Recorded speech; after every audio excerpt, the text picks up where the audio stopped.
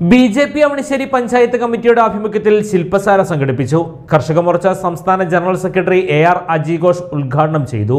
B J P Avanissery panchayat committee president Praveen അധ്യക്ഷത വഹിച്ചു. B J P ജില്ലാ vice president Sarju തേക്കാവ് ജില്ലാ general secretary K R Hari മണ്ഡലം president Shijo Francis സംസ്ഥാന സമിതി അംഗം Surya Shobi panchayat committee general secretary Sudheer ജില്ലാ O B C Morcha vice president M G Murali block panchayat അംഗം സി എസ് സുനിൽ തുടങ്ങിയവർ സംസാരിച്ചു.